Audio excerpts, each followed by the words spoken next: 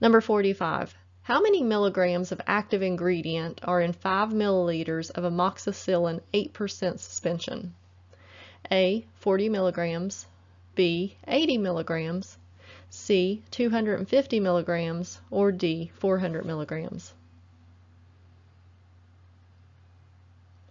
And the answer is D. 400 milligrams. So concentration as a percentage equals grams of drug per 100 milliliters of product. 8% means there are 8 grams of drug per 100 milliliters.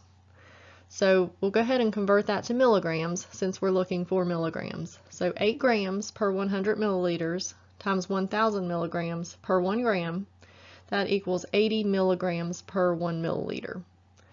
So we're looking for how much active ingredient is in 5 milliliters. So 80 milligrams per 1 milliliter times 5 milliliters over 1. We have a milliliter on the top, milliliter on the bottom, so those cancel. We're left with milligrams. So 80 times 5 is 400 milligrams.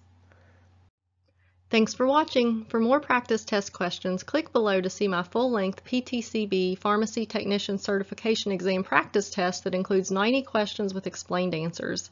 And if you find this video useful, please like and share it with others who may find it helpful too. Subscribe to see more of my pharmacy learning videos. And if you'd like to support this channel with a donation, press the heart thanks button to give me a super thanks. Thanks, I really appreciate it.